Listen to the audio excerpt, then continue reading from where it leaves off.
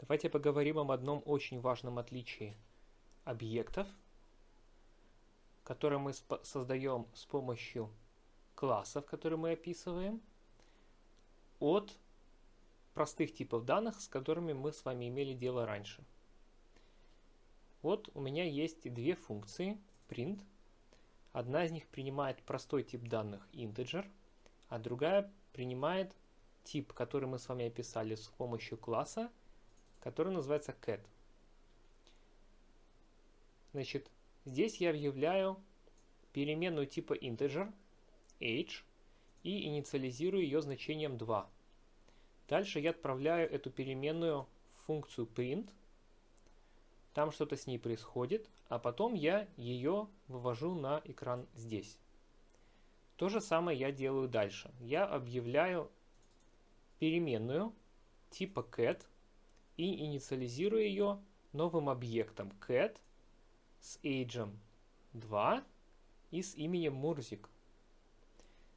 Дальше я передаю этот объект функцию print, а потом я вывожу на экран поле age у объекта myCat. Давайте теперь посмотрим на функции print в одном и во втором случае. В этом случае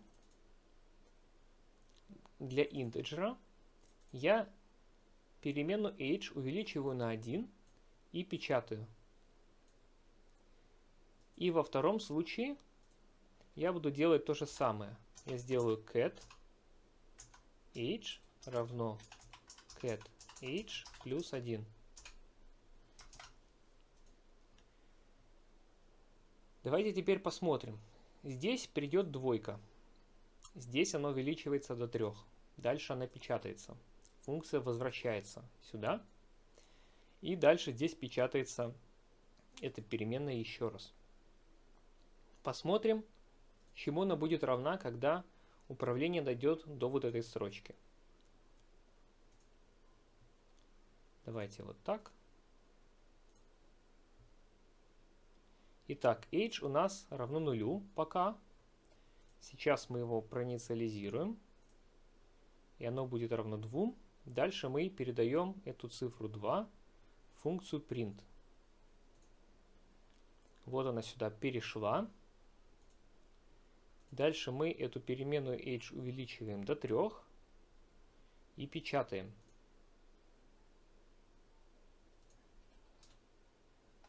Напечатали. И теперь выходим из этой функции. Помним, да, здесь age равно 3. Вот мы сюда вышли, и тут age все равно равно 2. здесь печатается 2. Так происходит потому, что простые типы данных, такие как integer, при передаче их в функцию, они копируют свое значение. То есть они полностью копируются в стеке.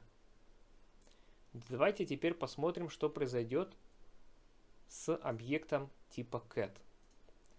Мы его проинициализировали, и его поле age равно 2. Дальше мы этот объект cat передаем в функцию print. Дальше мы полю age присваиваем значение на единицу больше, чем у него сейчас есть, то есть 3. Дальше мы печатаем нашего кота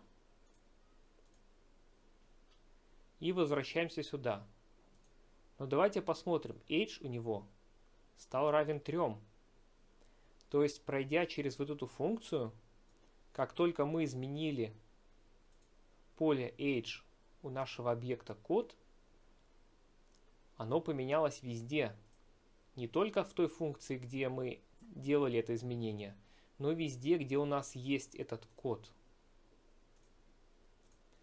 А все происходит потому, что когда мы передаем объект типа cat куда-то, то он полностью не копируется. Вместо этого копируется ссылка на него, а сам он остается неизменный, то есть в единственном экземпляре. И когда мы у этого единственного экземпляра поменяли поле age, Оно поменялось, соответственно, везде, где были ссылки на него. Подробнее об этом в следующем видео.